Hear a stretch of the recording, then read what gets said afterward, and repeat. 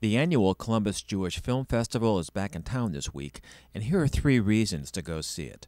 First, The Bubble, directed by Eytan Fox. It's a very slick looking take on the young gay scene in Tel Aviv. The nightlife looks like fun, the Mediterranean Cafe Society is all here, and of course, there's a love story between an Israeli and Palestinian. The cast is great, the filmmaking very accomplished, in this bittersweet tale from the nice side of a war zone. Number two, My Mexican Shiva, directed by Alejandro Springall.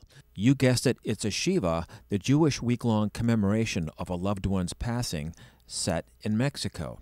So it's Jewish, but in Spanish. Who would have thought?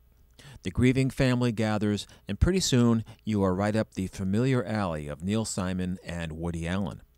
Number three is Souvenirs, a documentary about a young guy and his 82 year old dad. They're kind of two lovable losers, but soon they're off to Holland in the family jalopy to find the child that dad may have fathered during the war.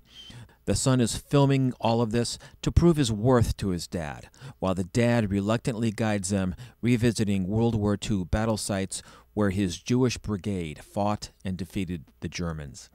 A minute later, they're picking two young German girl hitchhikers up and getting along just great.